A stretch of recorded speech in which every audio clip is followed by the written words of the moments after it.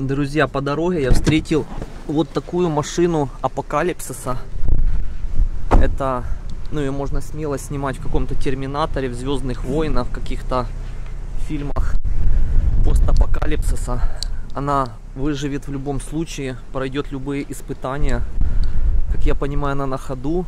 Капоты никто не собирается ставить.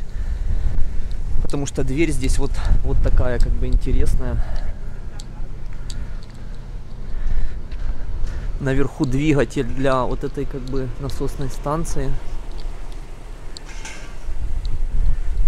Необычно. Египет суровый.